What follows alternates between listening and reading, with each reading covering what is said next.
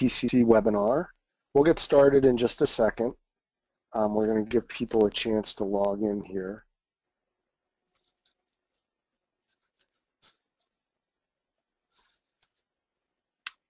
I'm showing that we are at straight up noon on the East Coast, and uh, so we'll just, looks like people are logging in. We'll just give folks a, a few seconds to, to get logged in before we get started.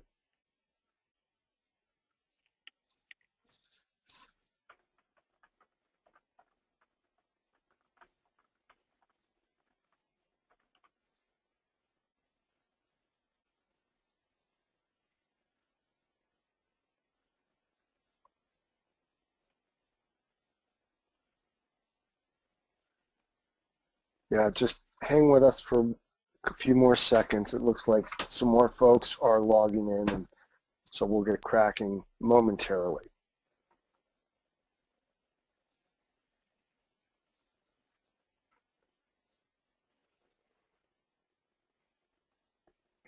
All right, it looks like some of the logging in activity has slowed a little bit, so we will now begin. Good morning or good afternoon everybody. Uh, I'm Steve Addicott with Caveon. We are pleased to, we've got a great session today. We call it The Incredible Journey to Trustworthy Test Results, Best Practices for Using Statistics to Invalidate Scores. Um, I'm very pleased to be joined by real experts in a number of topics related to score invalidation. Um, I think pretty much everybody knows, anyone in IT certification knows Liz Burns, but that won't stop me from giving a little bit of introduction for her. Um, for 20 years now, Liz has been involved in IT certification, and uh, currently she's running NetApp's CERT program. Um, I didn't realize that prior to entering our industry, Liz spent seven years as a turnaround specialist for the old Big Six consulting firm Deloitte and Touche, which no wonder she has such expertise in running programs efficiently and effectively.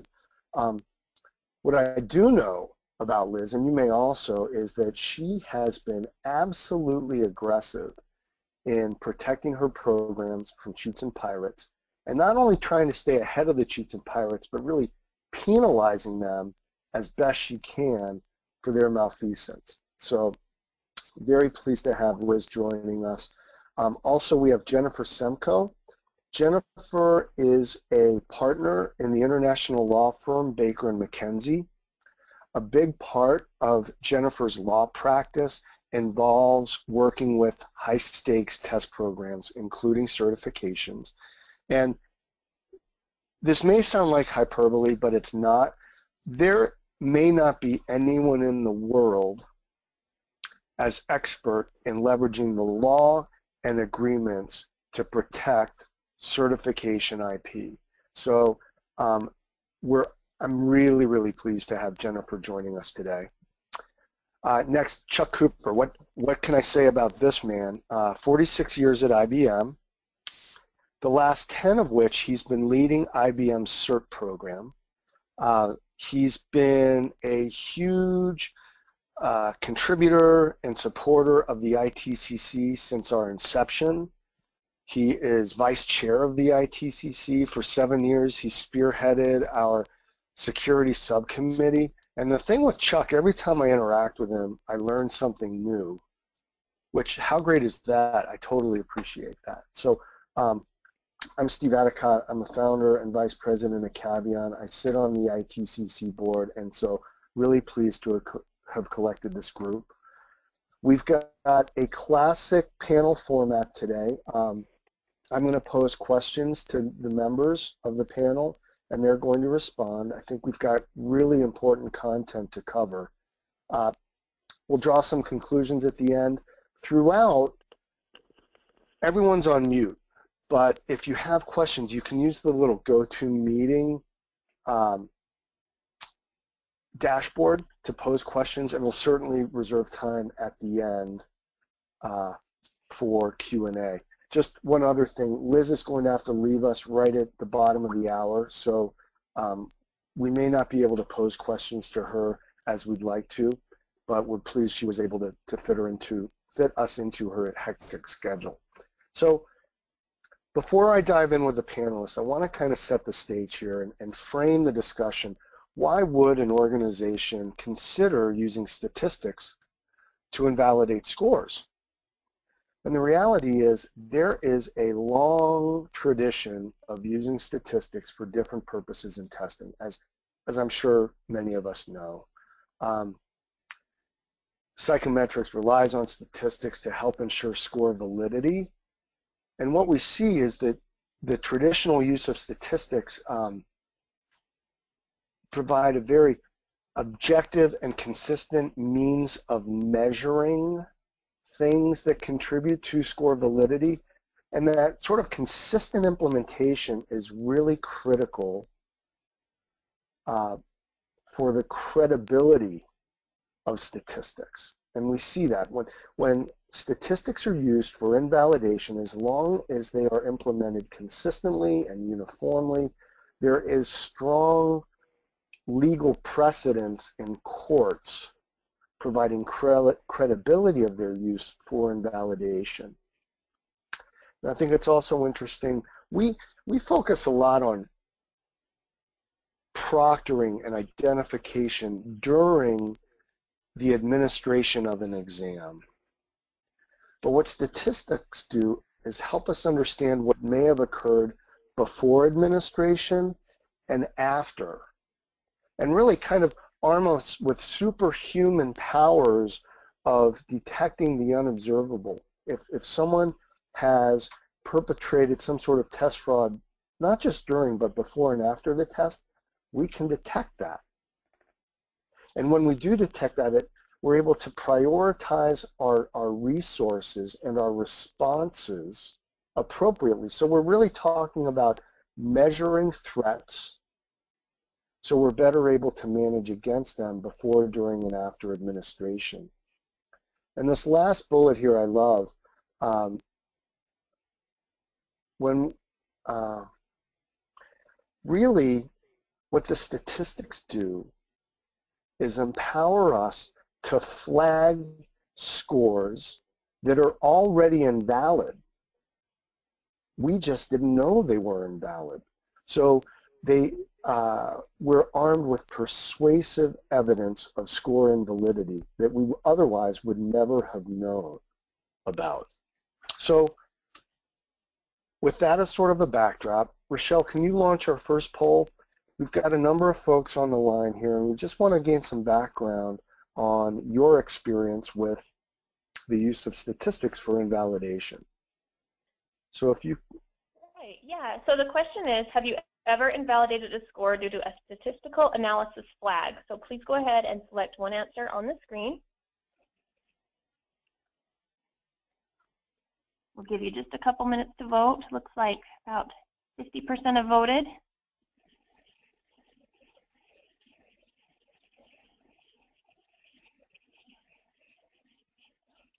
Okay, getting a few more votes in. We'll give you about five more seconds to pick an answer.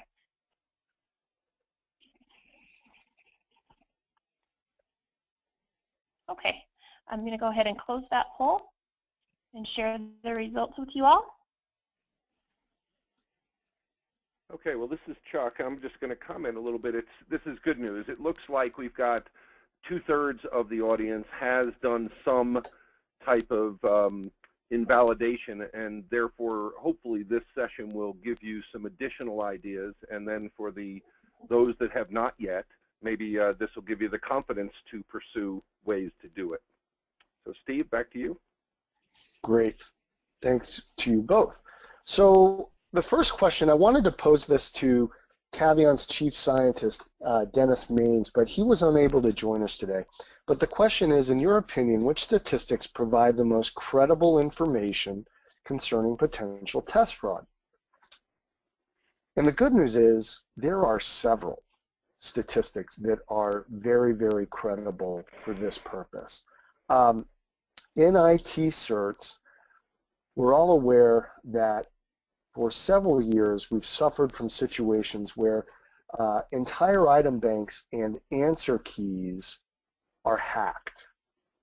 And so in response to that, programs, some programs have instituted Trojan horse items. So what we do is we intentionally miskey some non-scored items on the answer sheet. On the, uh, and so we're able to identify if a test taker has gained access to a pirated item bank and answers. Um, and in some cases, as Liz has done for years, actually invalidate when there is a an apparent uh, high prevalence of Trojan horse use on a particular test instance. So I didn't explain that very elegantly, but um, for a number of reasons, the entire hacking of the item bank and answer key has sort of uh, declined a little bit. So we've had to evolve to another type of item that we call the embedded verification item used on an embedded verification test. So Dennis Maynes used to call this a test within a test, but he got tired of me calling him a twit. So um, that's why we settled on EVT. But really what this does is flags an individual who scores really well on items that have been published for a while, months or even longer, but poorly on brand new items. And so why would someone score really well on old items and not well on items that are of similar difficulty on similar content? Well, when that chasm is really extreme, some programs will simply invalidate. We see the same sort of invalidation used for response similarity. For instance, um, I have clients that if Chuck and Jennifer have incredibly similar results, and, and it's not just that they, they had identical correct responses, it's that they have numerous identical incorrect responses. Well, one program, one of my clients, if the chance of them having such similar results, had they done their own work, is greater than 1 with 10, or 1 in 10 with 12 zeros, 1 in a trillion, they will simply invalidate. Not calling anyone a cheater, just saying we don't trust the score. Right along those lines, how can you trust a score if someone is operating at superhuman speeds? Um, they're answering items in just a few seconds that should take minutes to read, process, and answer. Again, maybe they're a proxy. Maybe they're a ringer. We don't know. We're just saying we can't trust the score. And so these kinds of items and these kinds of analyses are very valuable because they flag candidates who appear to have gained unfair advantage. They appear to have benefited through some sort of malfeasance. Also, as Liz will speak to, the analyses can be embedded in your quality assurance and scoring routines so they become very easy and efficient to incorporate. And lastly, much of what I just described can be shared with various stakeholders, your leadership, your legal group, your candidate community, um, in easy to use language, simply and succinctly. It's easy for people to wrap their heads around these kinds of things. So I'm now going to keep moving and uh, want to pose this next question to Jennifer. Jennifer, what legal agreements or legal foundation should be in place in order to consider invalidations based on statistics? Well, first and foremost, anytime someone obtains access to your exam by registering to take it, you've got some kind of agreement in place with them. That might be online registration, a candidate handbook that's a little more formal, an honor code.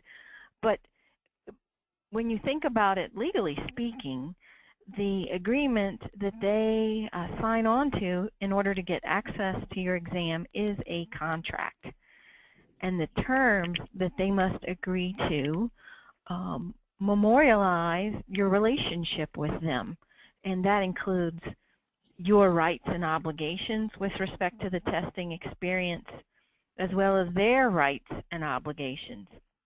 And if it's done right, your agreement with test takers will make expectations clear, and in the event that there's some problem in the future, what happens next will also be clear, including the remedies available to you, like invalidating a score.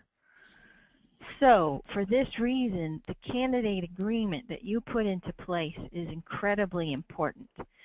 It should be clear. It should be comprehensive.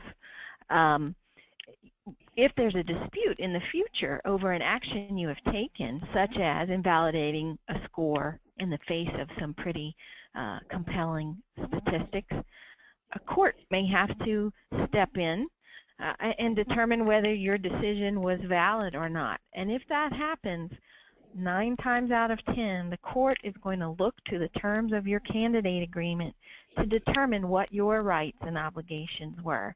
And the court is going to ask, did this testing program comply with its contractual obligations and did it do so in good faith? And so for that reason, not only is the candidate agreement itself important, but your policies and protocols, which might be behind the scenes, are equally important. You want to develop those policies and procedures now, not in the face of a security breach when you're rushing to make decisions. And you want to implement them consistently and uniformly so as to um, increase the odds that anyone who reviews your decision will conclude that you acted in good faith. It's really beyond the scope of this webinar to get into detailed discussion about what might be some key components of a good candidate agreement. But when thinking about invalidation based on statistics, think about whether your agreement puts candidates on notice that getting advanced access to exam content is a breach. That seems a bit obvious, but you'd be surprised how many times uh, test takers and their lawyers have um, taken the position that they didn't realize studying from materials provided by a friend or off of the internet or some other unscrupulous source would be a problem. And perhaps more importantly, think about your candidate agreement and what it says, if anything, about your right to invalidate scores and on what grounds, and your right to suspend or, or perhaps permanently prohibit access to your examination. Just some food for thought there. And the final couple of points I would make is, uh, one would be that you should treat your candidate agreement as a living, breathing document. Regularly review it in the face of new circumstances and new experiences um, and, and modify it as you need to to deal with new challenges. And also, don't overlook the value of your candidate agreement as a messaging tool. This is your chance to explain to your test takers what is and isn't appropriate. So don't pass up the chance to educate them a bit, which is sometimes necessary. And that's it. Jennifer, thank you very much. Um, sort of a long, well, as an extension of that question, when and how do you believe uh, one should recommend score invalidations to a board or a governing body? Okay, so let's assume you've got your rock solid candidate agreement in place and now you've discovered a breach or some kind of exam irregularity and you want authority to take some action against the candidate score. Or maybe you're looking for authority to establish a general policy for invalidating scores in certain circumstances. When is the right time to um, recommend that that step be taken? Well, when you have a good faith basis for questioning the validity of the score. Again, this goes back to that, that idea of good faith that I mentioned previously. And notice that I say a good faith basis for questioning the validity of the score. The question is not, can I prove this person cheated? Proving and cheating are terms we need to get out of our vocabulary in this context. So when you have based on the information in front of you, which could include some statistics. When you conclude you've got a good faith basis for questioning the validity of a score, that's the time to, to present the issue for potential invalidation. Now, what constitutes a good faith basis is really going to vary based on the circumstances. But to be clear, under the reported court decisions out there, your testing program does not have a burden of proving, quote unquote, that someone cheated on an exam. Instead, the court, as I said a moment ago, is going to look to your test taker agreement and consider whether the invalidation decision was made in good faith. So how do you present this decision for consideration? Well, present a full and frank summary to your decision makers, whether they are a board or a committee or some other constituent of your organization. Give them the factors that weigh in favor of invalidation and those that weigh against invalidation. And when it comes to data forensics, a clear and simple layman's type explanation of the meaning of the statistics can be very important. Um, don't dump a 20-page complex discussion on their desk and expect them to fully understand it, or maybe more importantly, six months later when the decision's challenged, don't expect them to be able to um, testify with confidence that they thought it was the right decision. I'll give you one quick example. We had a case uh, for a licensure program, and we worked with Caveon, and Caveon presented us with statistics for one particular individual and explained in a, in a really helpful soundbite, look, the odds of this person performing in the way that they did on this exam by chance are 1 in 27 septillion. that was about all the decision makers needed to know. They didn't need a 30-page report. They didn't need an in-depth understanding. But that soundbite combined with a general education on the, the, statistics and the analyses that were performed really gave them the confidence to make their decision to invalidate that person's score. And um, finally, if your program's procedures enable a test taker to present information or evidence themselves. Make sure that your decision makers see that evidence and take it into consideration as well. Fantastic. Jennifer, thank you very much. So we've got another poll coming up. And uh, Rochelle, can you launch that, please? So the next question for you all is, if you have a formal statistical analysis program in place, what has been the biggest challenge faced in implementing it?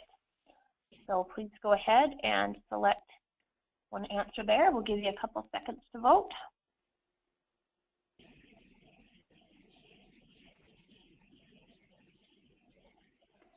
Okay, about 40% of you have voted. Give you about five more seconds.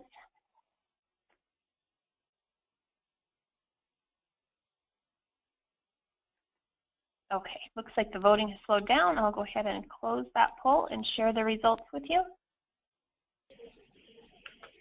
Now, I can't see those results. Liz, do you have any reactions to, to those results? Yeah, I'm very interested that legal and operational are 0%. I'm not surprised that political is high. But then, of course, 38% of the people said a combination of two or all three. Okay. And then none of the above, that would be interesting to, to so we're about one third, one third, one third on political combination or none of the above, which is very interesting actually. hmm. If there's well, none of the above, I'd, I'd love to know what it was, what issues, if any, they had enforcing, um, putting together enforcement stuff. Well, and, and, and I, um, that's sort of a wonderful segue because Liz, I know that you have faced all of these challenges. So can you describe the internal challenges and obstacles you confronted in instituting your invalidation programs, operational, sure. legal, political? Sure. Um, actually, I would have answered if I could have uh, a combination of all three. Uh, I have, I'm at this point implementing my third security enforcement uh, program into uh, my uh, a third organization. So I've done this for for many years. And at this point, I've found that while, while All three of these elements are critical to address. As with as everything with security, you really need a comprehensive approach. It's not, you know, one silver bullet that cures everything. But to what degree these uh, you need to address one of these three categories really depends on the company. Also, when I was looking back over the years in the three different programs that I implemented, it did occur to me to just make a note here that um, the process of selling an exam security enforcement program, not just exam security, but the enforcement piece, selling that into an IT company at least, which is my experience, has gotten a lot easier as more IT companies have implemented these programs because now we can argue that there's an industry best practice. So all of the work that this organization and many other people have done um, to spread the word about exam security, the, the, the, that's really benefited all of us, and it's, it's really a, a rising tide lifts all boats. So um, I just wanted to evangelize for that. Um, we're all making it easier for everybody else.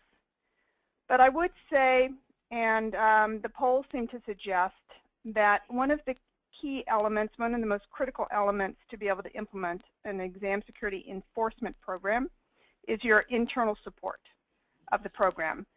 Um, so you'll really want to focus here. We are talking about impacting our customers and our partners. And this is a group that most organizations do not want to upset. Um, so your stakeholders will need to know what value this program has to your organization. And they'll want to know what they can expect to see happen, how their um, stakeholders, your partners and customers might be impacted. One note, one thing that I've learned is that when you are selling an enforcement program to your internals, they're going to ask about the people whose scores and certifications you want to invalidate. I really suggest you turn that conversation on its edge because the people they're worried about are maybe, if you're lucky, 5%, maybe 10% of your population. You want to turn it around and say, well, what about the other 90% of our customers and partners who are not, who are taking tests independently and who are truly qualified and the results are reliable? These are the people that we're building this program for. And, the, and, and what we will do is we will sell the program as an increased value of the credential that this audience of ours works so hard to, um, to create. So what I've gotten is significant support when I've sold it that way, and then also I capture all the, the um, positive feedback I get from people who are in the audience in the certification program about this enforcement, and I channel that back up to my stakeholders. So I, make, I, I keep that kind of political engagement going as we get positive feedback from that 90% of the audience. So again, I would just suggest that you turn your argument on its ear and you sell enforcement as a value add to the uh, certification programs you launch. When you go to stakeholders, they're going to want answers to questions like, does legal support this, and how will you implement it? So while political is really important, you've got to have all your ducks in a row. So um, you'll want to go and address these issues before you actually present to your stakeholders. With regards to legal, as long as you've addressed the issues that Jennifer just raised, which was a really nice, uh, comprehensive summary of the kinds of things you need to have in place, you should have no issue with legal. They may actually love the idea. I've had very positive responses to, from my attorneys when I've gone prepared. Um, operations are key, which I, the operational issues. I, I, was surprised that no one found this as an issue because they're really key for scalability and fast response, really to develop an ROI, if you will, on your enforcement program and consistency. There are numerous and um, continuously evolving tools to help you with your exam security enforcement programs. So Caveon, for example, really, really helps in identifying um, not just doing the statistical analysis, but identifying to Steve's uh, early point here, the, de the detection techniques that you can use and how best to apply them. Um, several candidate management tools allow for automating the data forensics so that you can actually invalidate an exam result without giving the candidate a final pass. So this is what Steve referenced that he said I would talk about, which is that, in my opinion, we really need to consider exam security analysis part of the same type of analysis we do to determine a cut score. So that an exam is not, a pass is not a pass unless they pass both the cut score and your exam security threshold, both together. And we now have tools that allow you to do that within 48 hours of an exam attempt, so there's not a huge delay. So you'll see many IT companies implementing a provisional pass, which uh, NetApp does, Juniper does, EMC does, um, I think Cisco does, several um, companies do this. And then they don't actually grant a certification until the security analysis has been completed. And um, so the key here is that you don't actually have to revoke a certification. You simply don't pass the candidate. And that actually, your stakeholders like that idea so much better than taking away a granted certification. So if you're moving to an exam security enforcement program, I, I, really, really urge you to explore all three of these aspects and the multiple options in the marketplace around the operational and scalability piece. That's it. Awesome. I love the metaphor of a valid score is meeting the cut score and the security threshold. Love that.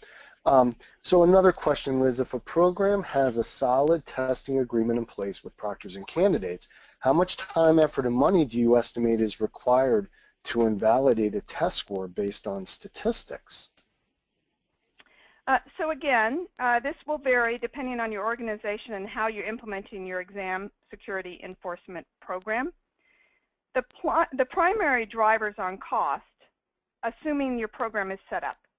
So, and I'm talking here about automating your program, if you will, but um, the question specifically Steve, I think you specifically don't address kind of the setup fees, which might be getting tools in place and getting a data forensics support in place, but really the incremental each um, exam and validation.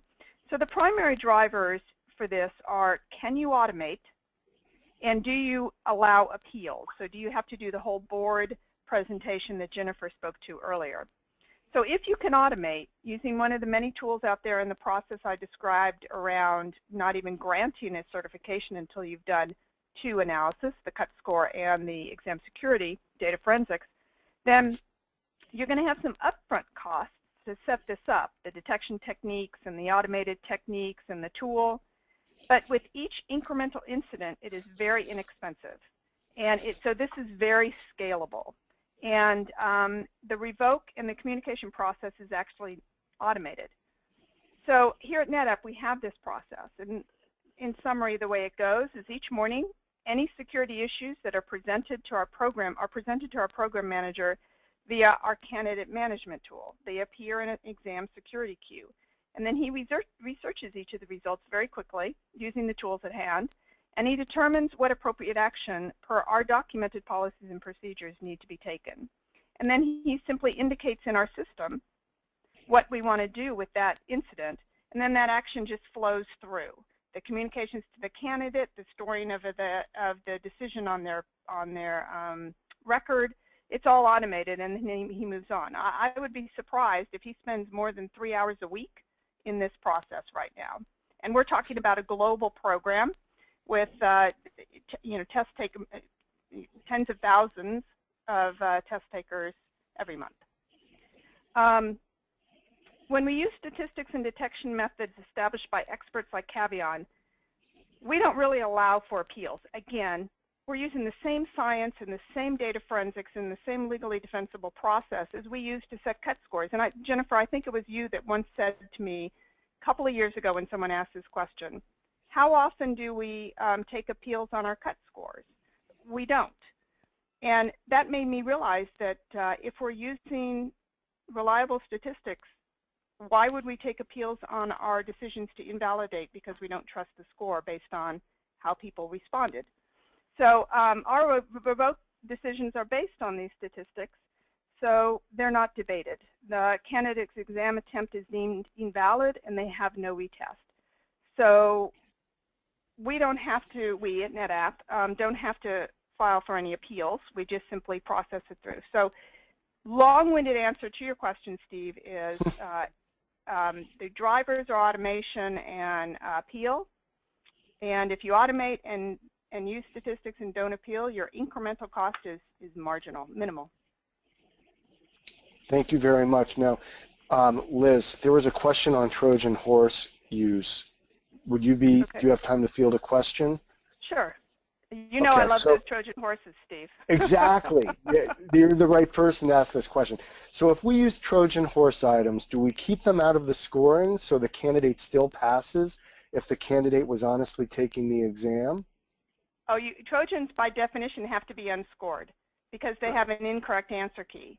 So yeah, Trojans are unscored items. They are only used for, for fraud detect, for um, invalidating exam results. Awesome. Hey, I know you have to run. Thank you so Yeah. much for squeezing us in. I know um, it's always great to have you join us, Liz. Thank, Thank you, Steve. Okay, take care. Bye-bye. So uh, now, Chuck, you've been sitting very quietly and patiently. You have a terrific case study to share with the group. I do, Steve. And in fact, to kind of bridge into the case study, um, we're gonna, I'm going to be talking in a moment about a case in which we have been successful in invalidating and identifying uh, non-independent test taking. Prior to that, we had a case over the last two years where we attempted to do the same thing. We were doing our testing, however, with server-based tests, which meant that both the question and answer key were being uh, st- stolen and compromised, and therefore the only option that we had was high score, low time, and a Trojan horse. So we had good indicators on the high score, low time, but, but we did not have enough effort. We have hundreds of tests to get Trojan horses inserted into all of them. So we actually would identify cases in which we believed there must have been cheating, but we in fact could not invalidate because we did not have the Trojan horse. And legal was very specific. High score, low time is not adequate because you just might step on the toes of somebody who is an expert or just simply moves through the question. So the Trojan horse was critical. We had problems getting enough of our tests with those in it, and therefore our older approach did not work. So what we now have is what I'm going to talk about here in the case study. Uh, we have a new method of doing this. The problem is the one you've heard overall. Most of our IT tests eventually find their way onto brain dump sites. We don't know who it is that took them. The candidates will acquire them either directly or indirectly and will use them to kind of memorize the questions and answers, thinking that they are the valid questions and answers. And they will end up with scores that we need to identify as non-independent test taking. And so that is the problem we set out to solve, and our solution is something called SCAM2. And you can see the definition of scam. The one that I told you needed Trojan horses, we call SCAM1. And so this is a new iteration. The big difference is we now do all of our testing on an internet-based testing tool. Therefore, only the question goes down to the candidate screen. And you can't always stop them from being able to record it or have a bad proctor who turns their back. One way or another, they eventually seem to be able to get a hold of the questions.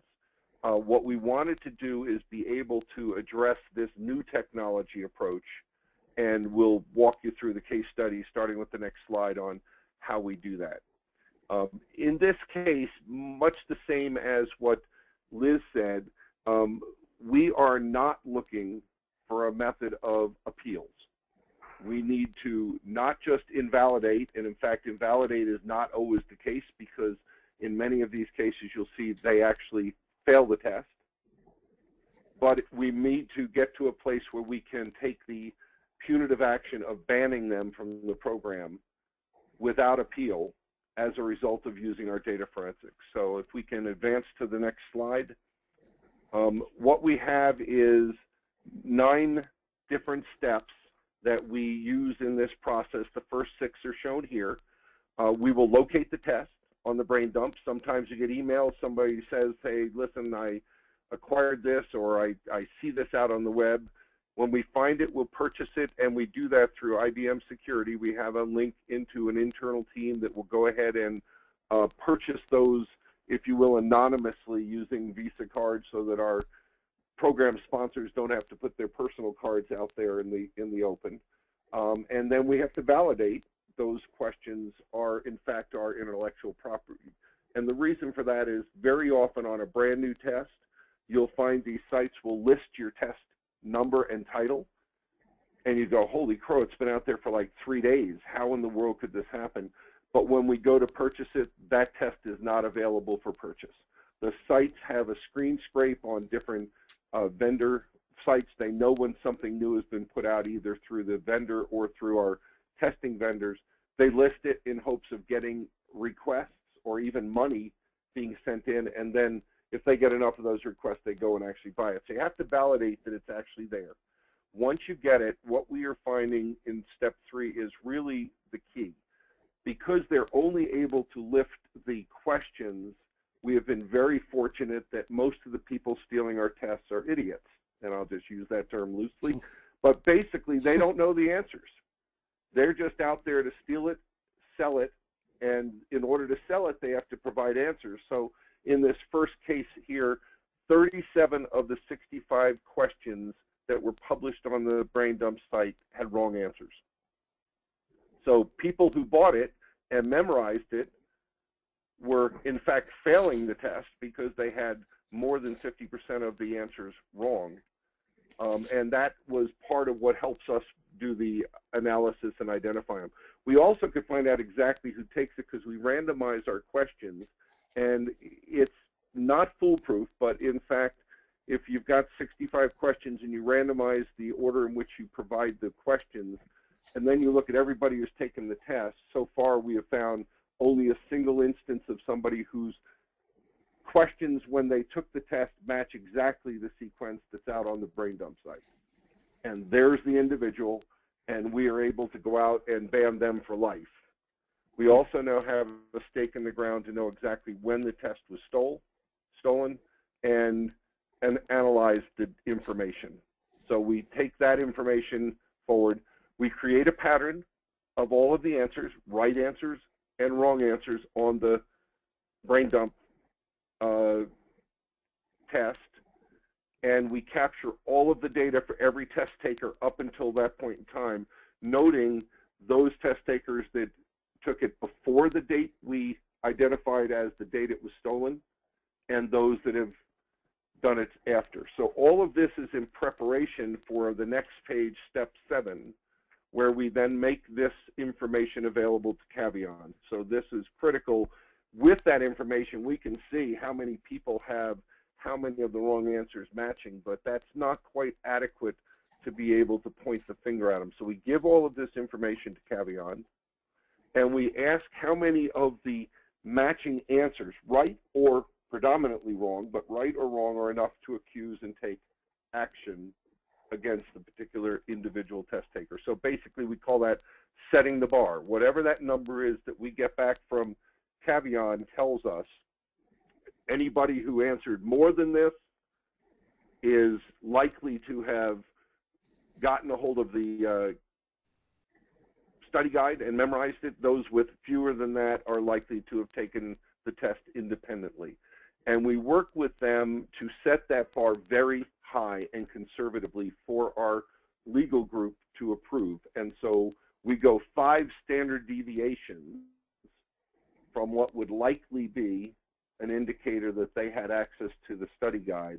And five standard deviations makes it one chance in three and a half million that we might get a false positive. That, again, was more than adequate for our legal staff to say, okay, we're, we're good with that. So one in 300, one in 3,000, one in 30,000, eh, you know, a little nervous, one in three and a half million, no problem. You don't need to set up appeals. You can simply point to that individual and tell them what the consequence is. So we can go to the next slide. Legal, as we've been talking, is a critical part of this equation. We could do nothing with our candidates taking action if we did not have the support of our legal team. And the reason is obvious. If any one of these individuals comes back to IBM and says, you're wrong, I lost my job, I'm suing you, we better have a full support, pre-support from legal that what we are doing is defensible from their point of view. And so we have met with them once a month, more frequently if needed, for the last two years on all sorts of security issues. We gained their approval. We gained their agreement that no retest was required because of where we set the bar. We agreed that what we do is we do a six-month ban from any future testing on the first occurrence, and they're told that on a second occurrence, it's a lifetime ban. And on that, we will also invalidate the score if, in fact, they pass the test and are identified as non-independent test taking. But in this particular case study, like I said, almost everybody failed because they had more than half of the answers they were memorizing were in fact wrong.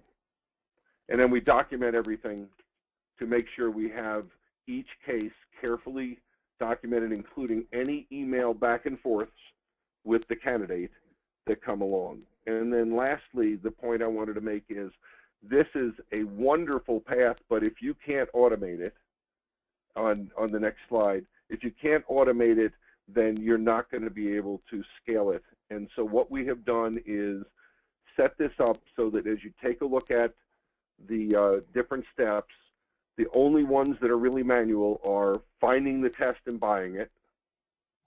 But we can create the answer key automatically, generate the test file, send it to Caveon. We get less than a one-week turnaround, usually about one or two days. Generate the letters to the individuals who are found to be non-independent test takers.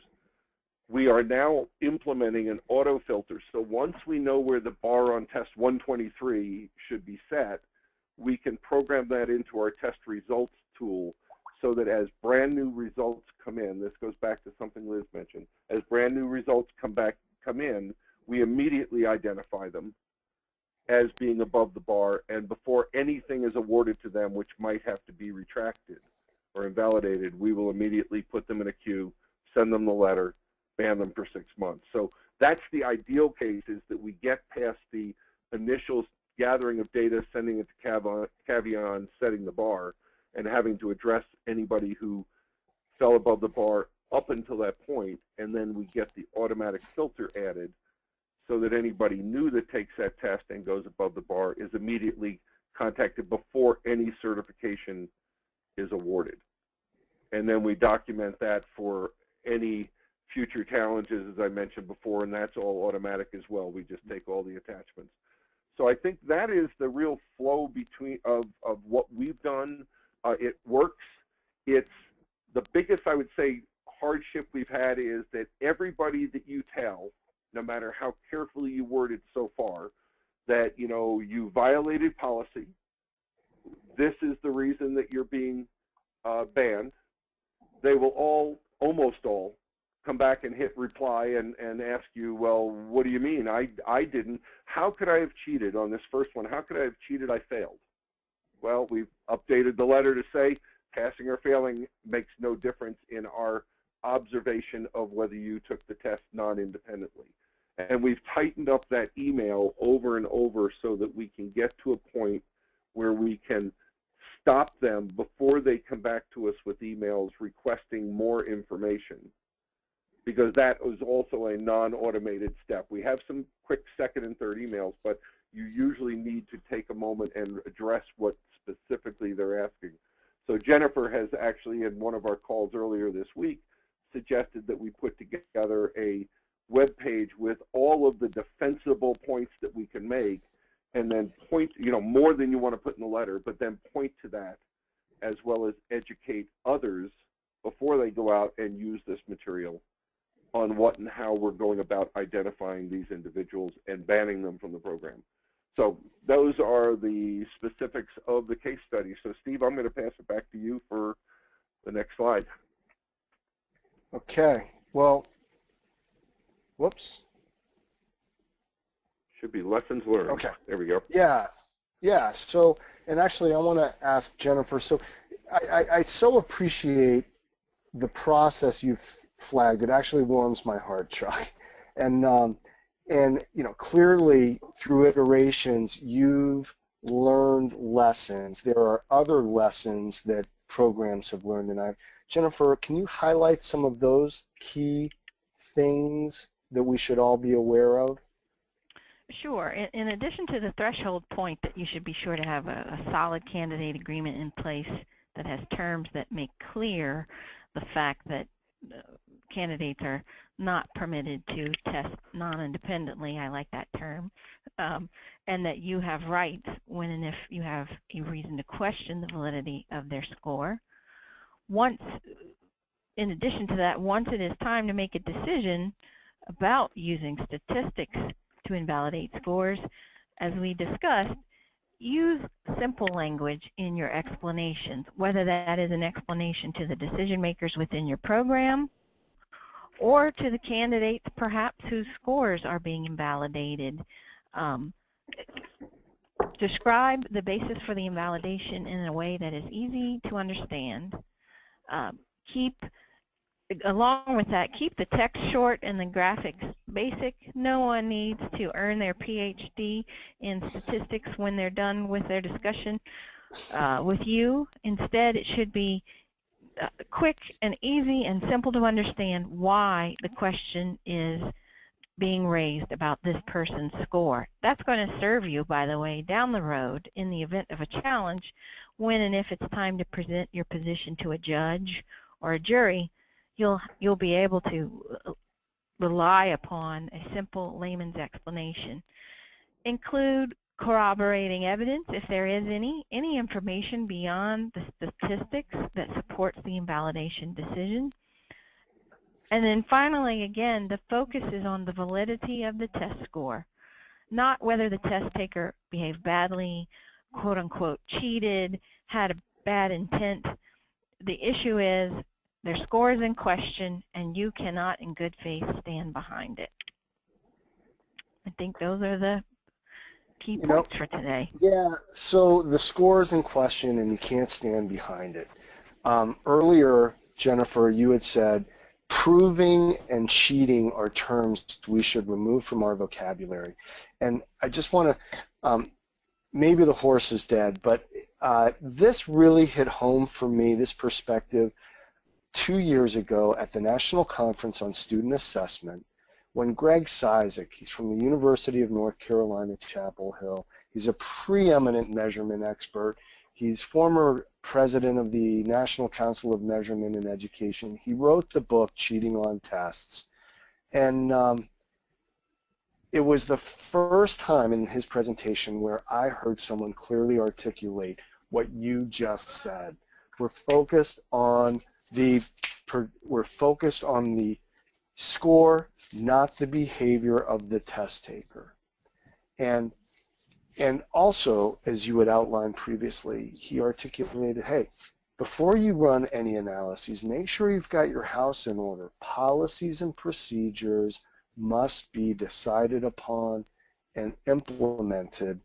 Um, so I'm not going to read these for you. You can read them. But also, uh, once you decide upon your policies and procedures, they must be uniformly and consistently applied. And that's the way, if we follow the advice of this panel, if we follow the advice of experts like Greg Cizek, we can arrive at a place where we're effectively, uh, compellingly utilizing statistics to identify those scores that really are invalid that we just didn't know yet were invalid. And so with that, I want to thank Liz, Jennifer, and Chuck, the ITCC, and Pam, who's on the line, and, and open this up to any questions. Are there any questions that anyone on the panel can address for you? Steve, this is Rochelle. It looks like we do have one question in the question box. Um, would you like me to read that to you? Can you see that? or? I, have got it now. So um, okay. the question is, I'm confused about these Trojan questions. As I understand it, most brain dumps these, these days are community driven and rarely have correct answers until after the questions are researched and explanations are created. Chuck, I think I think that as an the IT cert industry is sort of taken the exercise of brain dumping mm-hmm and labeled certain for-profit websites as brain dumps. Is that right? Can can you Yeah, I help mean, clarify there- this? There is. I mean, there are unfortunately hundreds and hundreds of these brain dump sites. There is an online tool, I want to say it's CertGuard. Actually, there is, and one of them specifically goes into that, but there are hundreds of them. I understand that some candidates don't get it and they think they're just getting a study guide legitimately get a lot of questions that you can study from, none of which are the actual ones. Well, not so in IT.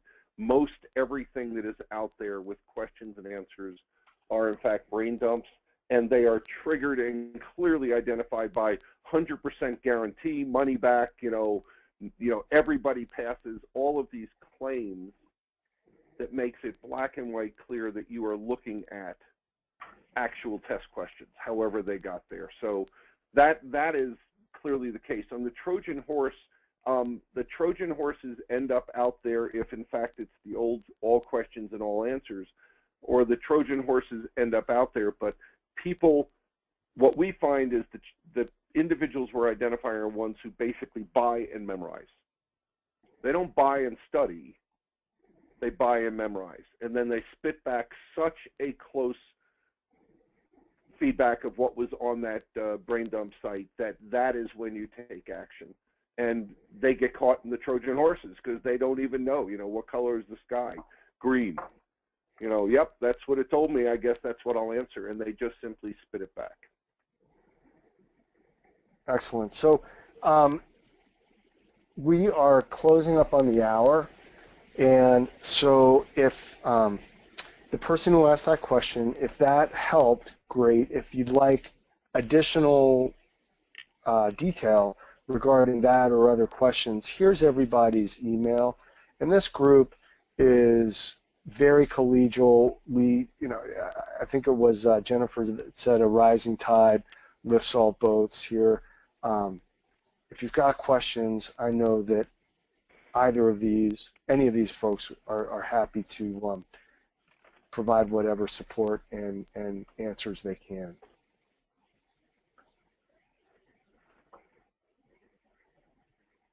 Um, so and, and Steve, I'll tell you what. Let me just make another 30 second. If anybody has not gone out onto the ITCC site, IT Certification Council.org, and gone to the test security tab, there are a number of white papers and resources that could help you build up a little knowledge, what forms the cheating, what are different best practices around it.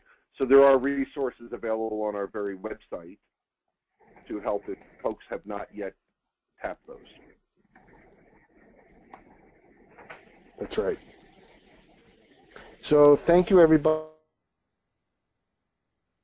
Participation today. We hope uh, we've been able to share some useful, helpful content, and uh, here's to better protecting all of our intellectual property.